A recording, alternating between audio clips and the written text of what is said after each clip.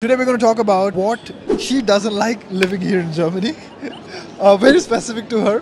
Uh, she's she's from Bangladesh, by the way, studying here in one of the universities in Berlin. Uh, what you don't like about Germany? I'll point out five things I don't like about Germany. First thing is Sunday is a dead day. You have nothing to do just being at home on Sundays because everything is closed. Two is coffee shops are not open after 6 p.m. I don't get anything to drink after like 6 p.m. unless it's club or some restaurant. Like third is the internet costs so much. I hate that thing because I use a pretty lot of internet. It's expensive. Four is S-Bahns, I mean surface trains. They got cancelled like anytime without any warning. Getting somewhere and you were late, and I hate to be late. I think uh, the internet point is very important because that's the only way we keep connected ourselves to the world, which is back home. add on one point like there are so much scams and frauds online so you really cannot trust everyone I think the biggest space for scammers is the accommodation. You will see a legit advertisement and you will think this is true, but